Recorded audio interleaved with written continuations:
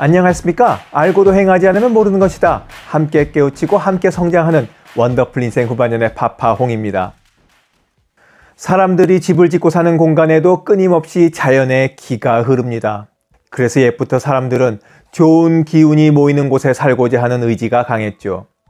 이런 의지를 반영해서 좋은 기운이 모이는 곳을 식별하고 찾아내기 위해 만들어진 사상이나 철학이 바로 풍수지리학입니다.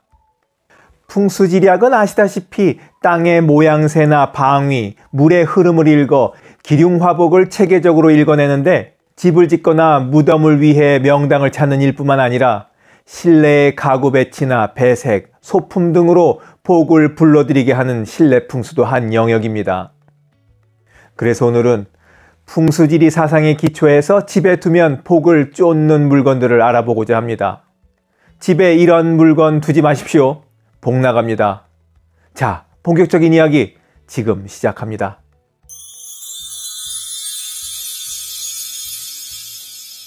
집에 두면 복을 쫓는 물건들. 첫 번째, 말린 꽃.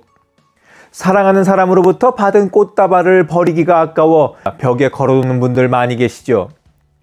요즘에는 일부러 말린 꽃을 벽에 한 장식으로 이용하는 분들도 계시지만 풍수에서는 그 많은 행동입니다. 풍수에서는 말린 꽃을 죽은 것으로 보고 산 사람의 생기를 앗아갈 뿐만 아니라 행운, 돈, 건강을 집에서 나가게 한다고 여깁니다. 풍수의 관점이 아니더라도 마른 꽃에서 벌레가 알을 낳아 번식하거나 서식해 온 집안의 벌레들이 여기저기 기어다니거나 날아다닐 수도 있다는 점 유의하시기 바랍니다. 실제로 드라이 플라워를 하시는 분들 중에 집에 권연벌레가 기어다니는 것을 보신 분들이 많이 계십니다. 집에 두면 복을 쫓는 물건들 두 번째 나무나 쇠로 만든 인형 그리고 망가진 인형 풍수에서 나무나 쇠로 만든 인형에는 안 좋은 기운인 잡기가 잘 달라붙는다고 합니다. 겉보기에는 예쁘고 앙증맞은 것이라도 사람 모습을 한 목각 인형을 집에 두는 것은 삼가하는 것이 좋습니다. 특히 외국 여행 다녀오시면서 특이하거나 괴기하기까지 한 모습의 인형 구입하는 분들이 계신데 풍수지리사들은 이런 것을 절대 하지 말라고 권합니다. 섬뜩한 얼굴을 하고 있는 인형이나 망가진 봉제 인형 또한 운을 소멸시킨다고 알려져 있습니다.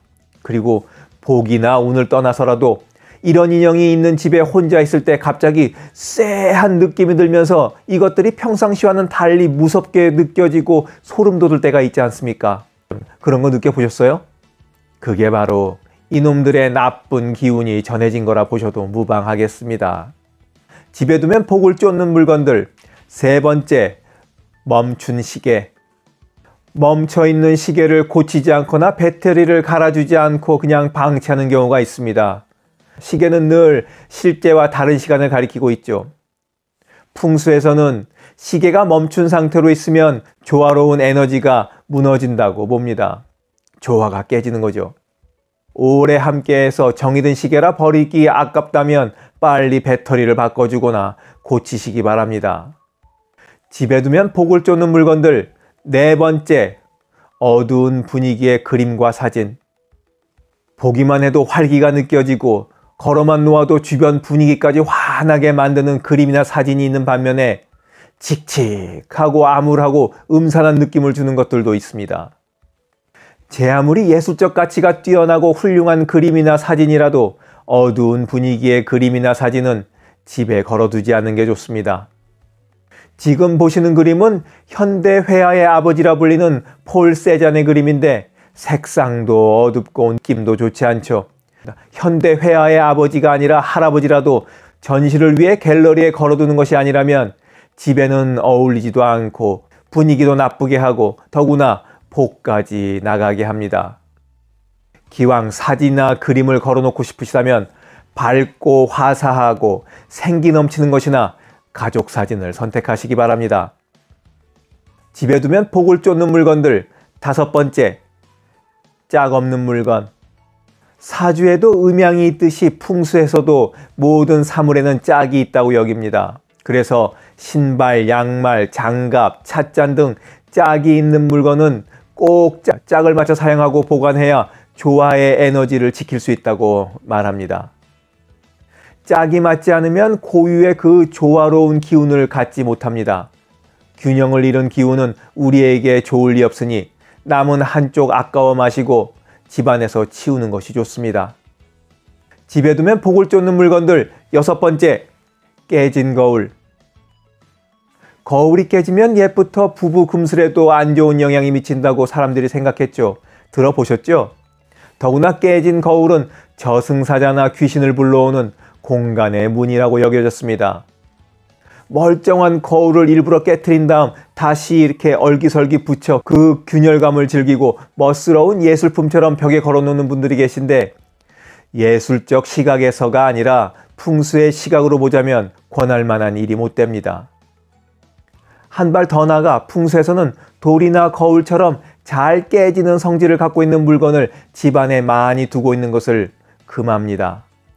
거울이 필요하면 하나 정도 걸어 놓으면 될 일이지 여기저기 많이 걸어두지 말라고 하네요. 깨지는 속성을 지닌 물건들이 많으면 부부금술도 깨지기 쉬워지기 때문이랍니다. 집에 두면 복을 쫓는 물건들 일곱 번째 마지막 망한 집, 불행한 집에서 나온 중고품 아끼고 절감하기 위해서 새 제품 사기보다는 중고 제품을 이용하는 것은 바람직한 모습입니다만 중고품 중에 망한 집, 가정에 불화가 많은 집에서 나오는 물건은 그 집의 기운까지 함께 묻어온다고 풍수에서는 얘기합니다. 반대로 흥한 집, 행복한 가정에서 나온 가구나 물건을 받았을 수만 있다면 좋은 일이겠습니다. 혹시 친구가 아주 잘 돼가지고 이사 가면서 사용하지 않은 물건을 준다고 할 때는 얼씨구나 하고 받아 쓰시기 바랍니다. 그냥 쓸모 없어도 그냥 갖다 놓으세요. 다 그게 복을 들어오게 하는 겁니다. 요즘 중고나라나 당근마켓 등 중고 물품의 거래가 아주 활발한데 아 참 전에 사용자가 좋은 기운을 갖고 있는지 없는지 잘 모르니 풍수의 시각에서는 조심 또 조심하라고 일러주네요.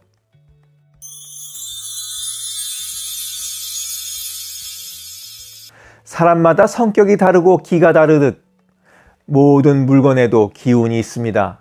그래서 어떤 물건은 집에 두면 복을 불러오지만 또 다른 물건은 복을 쫓기도 하고 불행을 불러오기도 한다는 것이 풍수지리의 시각입니다. 풍수지리가 생각하는 집에 두면 복을 쫓는 물건들은 말린 꽃, 나무나 쇠로 만든 인형, 멈춘 시계, 어두운 분위기의 그림이나 사진, 짝이른 물건, 깨진 거울, 망한 집에서 쓰던 물건이나 가구 등이 있습니다. 믿거나 말거나 미신이라고 생각하시는 분들도 계시겠지만 뭐 기왕이면 다홍치마라고 좋은 기운이 스며든 물건을 갖다 놓아 온 집안의 행복을 불러오는 좋은 기운이 가득하면 좋지 않을까 싶습니다. 영상을 보신 모든 분들의 가정에 행운을 불러오는 좋은 기운만 가득하길 기원하면서 오늘 이야기 마치도록 하겠습니다. 이런 물건들 있으면 지금 당장 치우세요.